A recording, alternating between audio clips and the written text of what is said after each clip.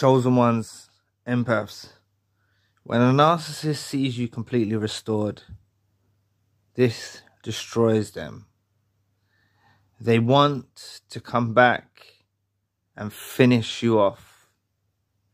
When they see you're rejuvenated, you're back to your old self, but an enhanced version, a new version 2.0 that's strong again, that's holding their head high, that's over them, possibly in a new relationship, possibly not, doesn't really matter.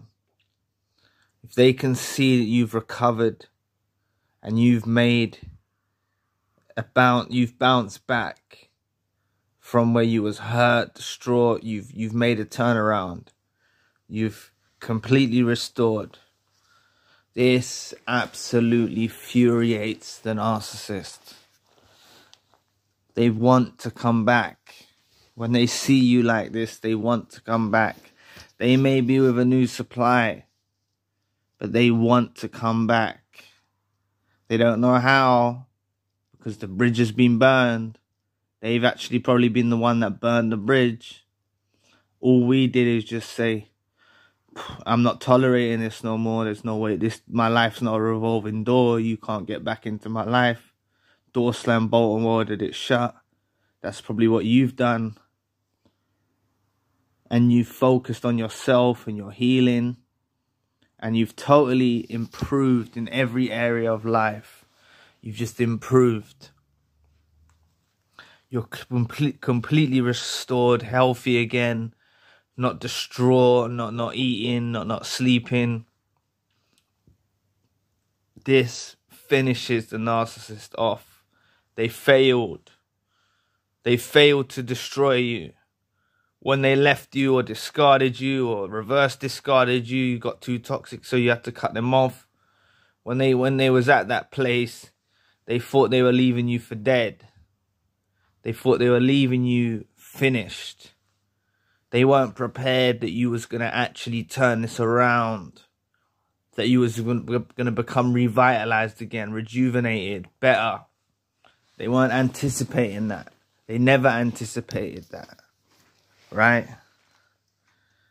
So you've got to understand that this is all the hard work that you done all of your energy putting forward focusing on yourself focusing on getting better, focusing on healing. This has destroyed the narcissist. And believe me, they know. They're watching your social media, or they're stalking you, or they're doing something, finding out from flying monkeys, asking about you, hearing from the hearing from the flying monkeys that you're doing well. They're pissed. They hate this. I hate to see someone who bounces back, who overcomes everything that they dished out to us, because they did put us through some hurt, some pain, some devastating times they put us through, purposely inflicted to destroy. And they failed. That's what we're talking about. They failed to destroy us. Okay? They absolutely failed. So you got to understand that this restoration or being completely restored, this is you now. Never let them back in. You know, because they they'll make attempts. They'll make attempts to try to get back in your life. They will make attempts. But remember, they're coming back to destroy. They're not coming back to love you not coming back to play happy families. They're coming back to finish you off. Right? Because they're tormented. You know? Failing to destroy someone affects their self-esteem. They feel less than. They feel less than you. They always felt less than you, but they feel even lower than you now. Because for a momentary moment, momentary time, momentary part of time, Their head was in the clouds when they discarded you. They felt full of themselves again. When they met this new supply, they were probably even flaunting the new supply at you like this new supply is great and everything like that. but when they see you doing the turnaround, when they see you rising above again, becoming stronger again, getting over them like it's nothing, you know? Because they, they, they, they may have not watched you for a little while. And then they've come back and checked on you again. And then they've seen this drastic improvements in the person that they're witnessing. And that's you. You know, drastic improvements. Really turning it around. And if you're not there yet, this is what you need to focus on. If you are not there yet, you know, you've made some adjustments. You're, you are improving, but you don't feel fully restored yet. That's okay. Because you're on the pathway to it. You're on the pathway to enlightenment. You're going to become enlightened. Right? These people are miserable, miserable savages. They're savages. They are absolute savages. All they wanted to do is see you depressed, hurt, miserable, in pain, hurting, crying, distraught. That's all they wanted from your life. That's why they tried to inflict such damage, and they did inflict a lot of damage.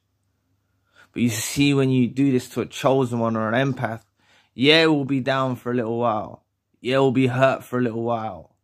But we bounce back stronger than ever. We turn it around. We become stronger. And they can't take this. The narcissist can't take the fact that you've turned it all around.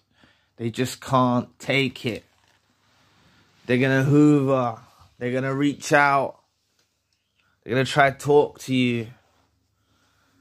You know, it's happened to me. It's happened to me. Seen the signs. I've seen the proof. You know, I've taken his healing journey very seriously. Very, very seriously. Because I noticed myself nearly fall into new situationships very early on. And I'm glad that I didn't actually proceed with those situationships because they were toxic as well. I didn't stay around long enough to work out if they're a narcissist or a psychopath, but they were toxic as hell. And they had a lot of damage done to them, I think, in the past. So that there, there, there was no hope for them. But trust me, you making this turnaround now, you shining bright again. This is the last thing the narcissist wanted to see and they are truly, truly pissed about you making this turnaround. So anyway, thank you for watching today. Please press the like and the subscribe button. If you'd like to donate to the channel, you can find a link in the description box. And if you'd like a one-to-one session with myself, you can also find a link in the description box. Currently, I've got the secondary channel, spiritual channel. So anyway, I'll be back with another video soon. Peace.